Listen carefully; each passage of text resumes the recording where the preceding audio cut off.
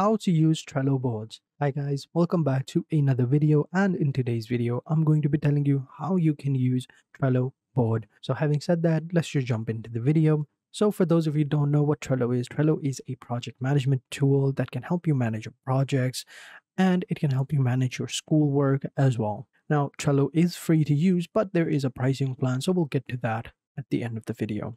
So let's go ahead and get right to it. So first things first, what we're going to do is we're going to sign up. Now the sign up process is actually very simple. You can just enter in your email right here and you should be good to go. So I'm just simply going to go ahead and sign up.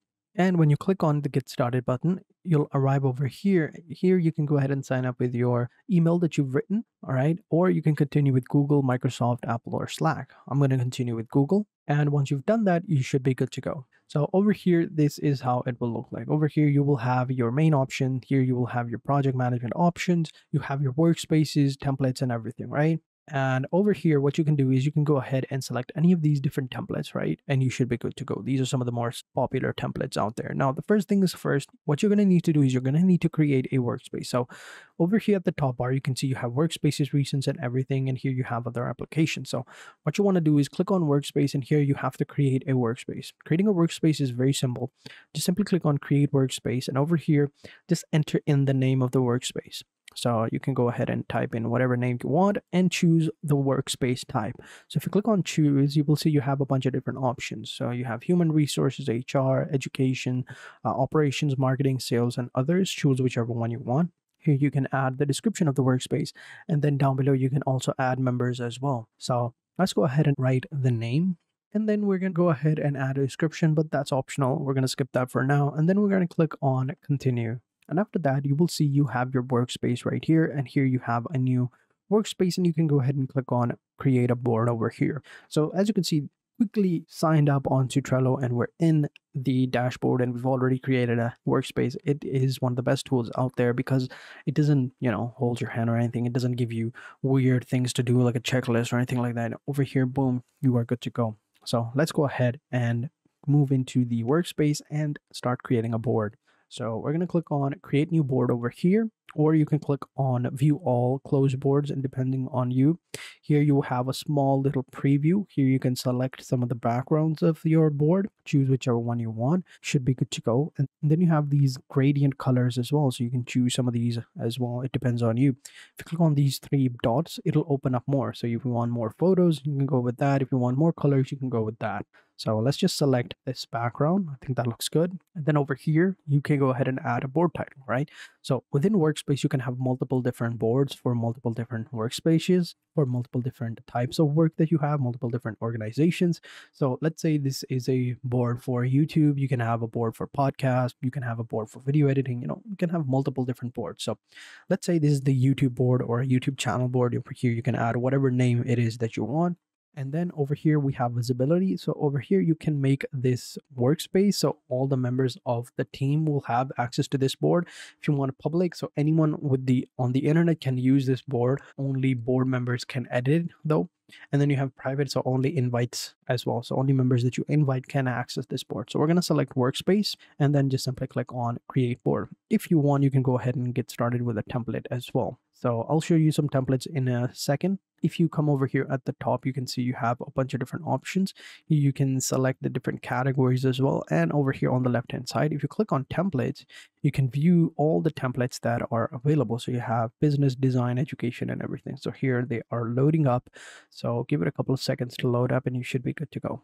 So you can see you have a bunch of different template options right here. Uh, marketing content catalog over here, overview, uh, UNICEF Global Innovation Center. So you can check out any of these different templates you want. So let's say this is a template that we like. So we click over here, uh, the template is going to open up and this is how it looks like. All right. So you can use this template as well. But for now, I think we are good to go. So we're going to go back to our place and we're going to click on create new board and we're going to continue with the board that we have created. And then we just simply select create and there we go. Our board is now created and over here we can go ahead and do a little bit of editing right? We can create different board sections, right? Change the title of each of these boards to whatever you want, and you should be good to go. Here you also have some options at the top. You have automations, power up filters as well. You have workspace visibility, the board view as well. Over here, if you click on this little arrow or drop down box, you can see some other views as well. But for that, you have to upgrade your account. So, or you can go ahead and start with a free trial.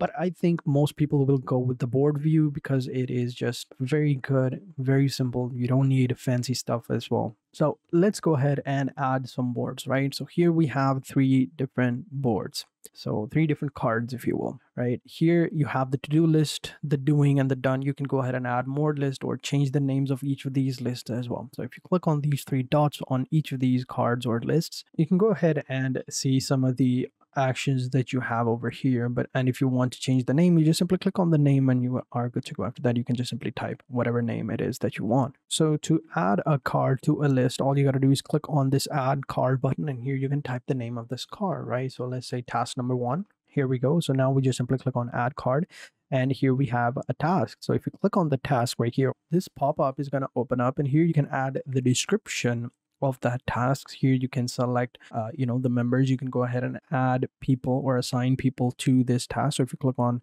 the join button you can go ahead and assign yourself. If you want to click on members you can go ahead and add members over here. Over here you have labels. Here you can select or add different labels. So for example let's say this green color uh, right it's going to be added over here. This is a title over here. Let's say this green card this green label represents the to-do tasks right or let's say these are certain types of tasks. So you can have different categories for each task. So let's say we can select different priorities as well. So green one is going to be like low priority. Then we have yellow. This is going to be like a medium priority. And then we have orange which is going to be an urgent right and then we have other cards like blue one and red one red red could represent the whether or not the task is canceled or not and you can add other purple and blue to whatever categories you want right? Like you understand. So let's go ahead and do that. So this is how i set it up. So i changed the green to complete because i thought that would be much better. That looks much better. So blue is going to be low priority. Then we have medium and urgent. And then we have canceled in progress and completed. So it's something like this right? So now we have some labels. And to apply the labels we just simply click on the label and boom. As you can see right here blue label has been added and we click on it we can see right here the priority the label right here. And then of course you have other options as well like custom fields cover attachment dates checklist as well. If you want to click on checklist and you can add a checklist. Over here if you click on dates here you can set a due date as well. So over here is the due date reminder. Over here you can select whichever date you want to set it as a due date and then you should be good to go. So this is how you can set up multiple different you know tasks and then over here doing done so you can go ahead and change some of the names. So let's say this is in progress and this is completed. And you can also change the color of these bars right here or boards but for that of course uh, you have to start the free trial. So next you can also add different automations or as well or you can create new fields. So let's say we add another list which is going to be uploaded. So let's say you know we have uploaded the task to youtube as well so this way, whenever a task is completed, we can see over here on the list whether or not they are uploaded. And we can also create different automations as well. So let me just show you how you can do that. So to add different automation, you just simply click on the automations. Here you have rules, emails, and all of that. Click on rules to set and create different rules. So here, over here, give it a couple of seconds. So here you have rules, it's setting up over here. So you have scheduled rules over here, due dates, card buttons as well and board buttons as well. So let's go ahead and create a button or let's go ahead and create a rule itself. So let's go click on create rule. Here we have three sections. So select trigger, select the action and review and save. So let's go ahead and click on add trigger. So when a card is added to, let's say, or let's say when a card's status is changed as well. So here we have card changes. When the green completed right here, when any, all right, when any label is added to a card by me or well let's say when the green card is labeled added to a card by me or by anyone right? Let's say by anyone and this is it right? So we click on this button right here click then select the action then move the card to the bottom of the list or the top of the list whatever to the completed list right here And there you go. So now we click on done and there we have a rule. So now we can go ahead and test it out. So whenever the green completed label is added to a card by anyone, move that card to the top of the list of completed. So let's go ahead and test it out. So let me just close this uh, one up and over here we have a task here let's go ahead and add the completed label and there we go there we go automatically it's moved to the completed section which i think is perfect. So this is how you can set up your own boards set up different automations add new tasks add new columns to each boards and if you want to change the view click on this one. And of course you can change the view as well. So pretty simple. This is how you do it. This is how you use trello boards. And hope you guys enjoyed this video. If you did be sure to hit the like button subscribe to the channel and turn on post notifications. And i will catch you guys in the next video. And until then take care and goodbye